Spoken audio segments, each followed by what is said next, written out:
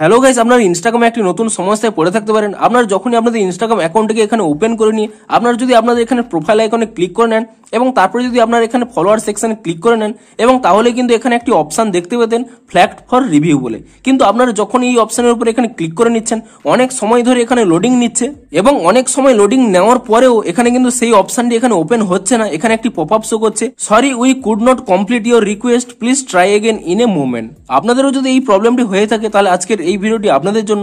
আপনাদের কয়েকটি স্টেপ জানাব। আপনারা সেই স্টেপগুলি ফলো করে নিন, তাহলে কিন্তু আপনাদের এই সমস্যাটি ইজিলি সলভ হয়ে যাবে। তো কি সেই স্টেপগুলি তা জানার জন্য পুরো ভিডিওটি অবশ্যই দেখতে থাকুন। হ্যালো গাইস আমি সৌরভ। আপনারা দেখছেন ইস্যুটে চলো শুরু করা যাক।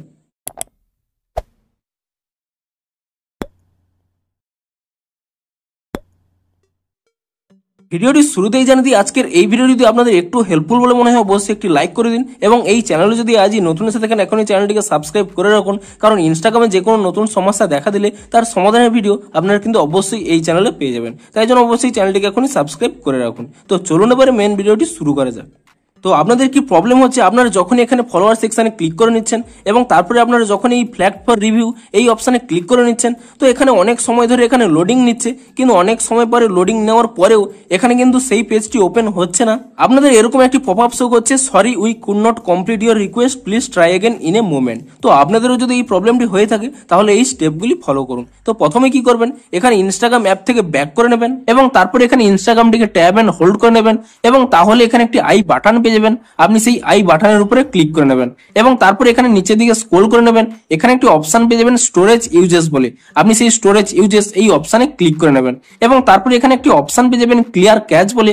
আপনি সেই ক্লিয়ার ক্যাচে ক্লিক করে নিয়ে ইনস্টাগ্রামের ক্যাচ ফাইলটিকে ক্লিয়ার করে নেবেন এবং তারপরে এখান থেকে ব্যাক করে নেবেন এবং আপনাদের মোবাইলে থাকা প্লে স্টোর অ্যাপটিকে ওপেন করে নেবেন এবং প্লে স্টোর অ্যাপটিকে ওপেন করে নেওয়ার পরে আপনি এখানে সার্চ করে নেবেন ইনস্টাগ্রাম বলে। এবং ইনস্টাগ্রাম বলে সার্চ করে নেওয়ার পরে আপনি এখানে চেক করে নেবেন যে ইনস্টাগ্রামের কোনো নতুন আপডেট এসেছে নাকি। যদি ইনস্টাগ্রামের কোনো নতুন আপডেট এসে থাকে, আপনি তৎক্ষণাৎ ইনস্টাগ্রামটিকে কিন্তু নতুন ভার্সনে আপডেট করে নেবেন। এবং ইনস্টাগ্রামটিকে নতুন ভার্সনে আপডেট করে নেওয়ার পরে আপনার এখান থেকে ইনস্টাগ্রামটিকে ওপেন করে নেবেন এবং ইনস্টাগ্রামটি ওপেন করে নেওয়ার পরে আপনারা চেক করে নেবেন যে আপনাদের সমস্যাটি সলভ হয়েছে নাকি। তো তার জন্য কি করবেন? প্রথম এখানে আপনাদের এখানে প্রোফাইল আইকনে ক্লিক করে নেবেন এবং তারপর এখানে আপনাদের ফলোয়ার্সের উপর এখানে ট্যাপ করে নেবেন এবং তারপর এখানে যে অপশানে দেখতে পাচ্ছেন ফ্ল্যাক্ট ফর রিভিউ বলে, আপনি সেই অপশানের উপরে ক্লিক করে নেবেন। তো দেখুন, আমার এখানে ফ্ল্যাক্ট ফর রিভিউটি কিন্তু ওপেন হয়ে গেছে। তো আপনাদের যদি তবুও এখানে এই ওপেনটি না হয়ে থাকে, আপনাদের যদি এখনও এই প্রবলেমটি হয়ে থাকে, এই পপ আপটি শো করছে এবং ফ্ল্যাক্ট ফর রিভিউ অপশানটি ওপেন হচ্ছে না, তো আপনারা কি করবেন? এখানে একটি স্ক্রিনশট নিয়ে নেবেন। এবং এখানে স্ক্রিনশটটি নিয়ে নেওয়ার পরে তারপরে কি করবেন? এখানে এই ফ্ল্যাক্ট ফর রিভিউ থেকে এখানে ব্যাক করে নেবেন এবং তারপরে কি করবেন?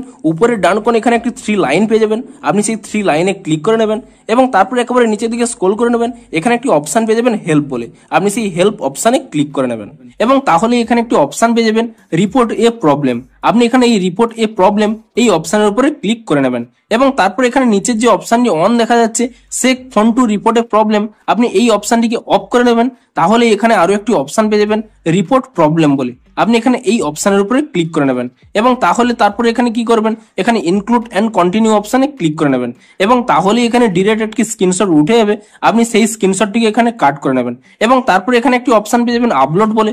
আপনি সেই আপলোড অপশানে ক্লিক করে নেবেন এবং তাহলে আপনাদের গ্যালারিটি ওপেন হয়ে যাবে এবং এরপরে আপনারা যে স্ক্রিনশটটি তুলে নিয়েছিলেন, সেই স্ক্রিনশটটি এখানে সিলেক্ট করে নেবেন এবং সেই স্ক্রিনশটটি সিলেক্ট করে নেওয়ার পরে আপনি এখানে আপনাদের প্রবলেমটি টাইপ করে নেবেন। এবং প্রবলেমটি টাইপ করে নেওয়ার পরে তারপরে এখানে উপরে একটি অপশান পেয়ে যাবেন সেন্ড বলে। আপনি সেই সেন্ড অপশানে ক্লিক করে নেবেন এবং সেন্ড অপশানে ক্লিক করে নেওয়ার সাথে সাথে আপনাদের প্রবলেমটি ইনস্টাগ্রামের কাছে সেন্ড হয়ে যাবে এবং আপনারা ঠিক ওয়েট করে যান এক দিনের মধ্যে কিন্তু ইনস্টাগ্রাম একটি নতুন আপডেট দিয়ে দেবে এবং আপনারা চেক করতে থাকুন যে ইনস্টাগ্রামে নতুন আপডেটটি কবে আসে। ঠিক যখনই ইনস্টাগ্রামে নতুন আপডেটটি চলে আসবে, আপনি সেই আপডেটটি করে নেবেন, তাহলে কিন্তু আপনাদের এই প্রবলেমটি কিন্তু ইজিলি সলভ হয়ে যাবে। তো ভিডিওটি যদি একটু হেল্পফুল বলে মনে হয়, অবশ্যই একটি লাইক করে দিন। দেখা হচ্ছে আরও কোনো নতুন ইনস্টাগ্রামের সমস্যার সমাধানের ভিডিওর সাথে। Thanks for watching